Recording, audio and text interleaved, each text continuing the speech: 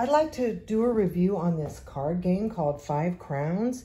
It's kind of like a rummy style game, but it's really interesting. It goes from, you start with round three, you have three cards in your hand, and it goes up to 13. So you go through all these rounds, and the goal of the game is to get three or more in a row or a run of the same suit, and then you have a joker that you can use for any of the numbers also. It's a really fun family game. We play it all the time and we make so many memories and we talk about, remember when so-and-so did this or she won by this amount and we just have a lot of fun. As you can tell by the box, it's kind of getting ripped up because we use it a lot. So thanks for watching.